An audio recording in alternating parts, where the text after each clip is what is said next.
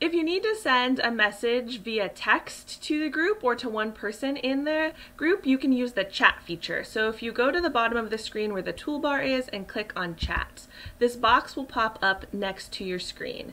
And here you can type a message. The default is that it will show up to everyone. So you say, hi everyone, and then all the other participants will be able to see that chat on their screen. You can also send a message just to one person by switching the to to the person that you want to send that message to. And then when you type that, this message will only go to the person that you sent it to and you can see that it shows up as privately. Just one note is that even if you send a message privately, the organizer of the meeting can see the transcript of the chat afterwards, so make sure you only type things in the chat that you're okay with other people seeing at any point.